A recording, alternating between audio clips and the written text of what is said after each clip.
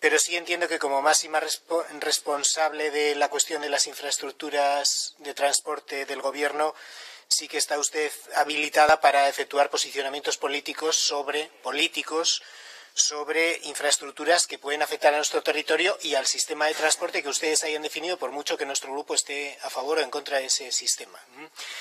Eh, lo que sí me llama la atención es que ante un mismo proyecto eh, su posicionamiento sea diferente en función de que el proyecto atraviese la barrerita de la frontera de, Miranda para arriba o de Miranda para abajo. ¿no?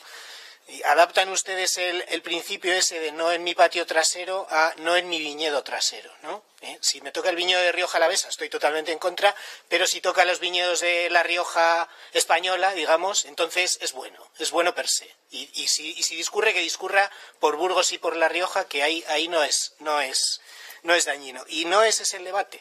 No es el debate porque algún portavoz ha intentado llevarnos al debate de que como todos los proyectos tienen un impacto, pues tenemos que buscar el impacto menor. No, no, no. Aquí la cuestión no es si hay un impacto mayor o menor, sino si es necesario o innecesario el proyecto. Y, en ese sentido yo creo que algunos grupos hacen trampas en, el solitario.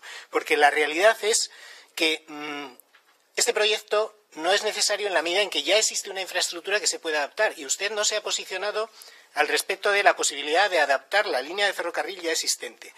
Ha mencionado que algunas líneas pueden estar colapsadas y yo le pregunto, ¿es este el caso de la línea eh, Logroño-Miranda? Eh, está, colapsada y no tiene capacidad de absorber dos, tres eh, trenes de alta velocidad al día que puedan pasar, si es que pasan. La realidad es que, bueno, aquí alguien ha mencionado, ¿qué pasa si una mayoría considera necesario un proyecto? Entonces yo digo, ¿qué pasa si una mayoría de Bilbao o de Madrid consideran necesario un proyecto para que pase por la Rioja Alavesa. ¿Están habilitadas esas personas de, de, Bilbao, de Vitoria o de Madrid a decidir el futuro de una comarca como la Rioja Alavesa? ¿Están habilitadas? ¿Están habilitadas para decidir si es necesario despilfarrar el dinero público en una segunda línea cuando ya existe una línea de ferrocarril?